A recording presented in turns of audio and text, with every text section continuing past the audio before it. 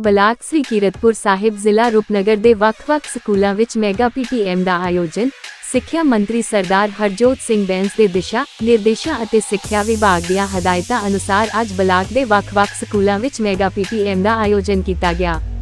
ਜਿਸ ਕਾਰਨ ਸਕੂਲਾਂ ਵਿੱਚ ਵੱਖ-ਵੱਖ ਗਤੀਵਿਧੀਆਂ ਕੀਤੀਆਂ ਗਈਆਂ, ਜਿਨ੍ਹਾਂ ਵਿੱਚ ਸਕੂਲ ਵੱਲੋਂ ਜੀ ਆਇਆਂ ਨੂੰ ਪਲੇਜ ਦਾ ਫਲੈਕਸ ਤਿਆਰ ਕਰਨਾ, ਪ੍ਰਦਰਸ਼ਨੀਆਂ ਟੀਐਲਐਮ ਸਪਲੀਮੈਂਟਰੀ ਮਟੀਰੀਅਲ, ਬੱਚਿਆਂ ਵੱਲੋਂ ਤਿਆਰ ਕੀਤਾ ਗਿਆ ਮਟੀਰੀਅਲ ਆਦਿ।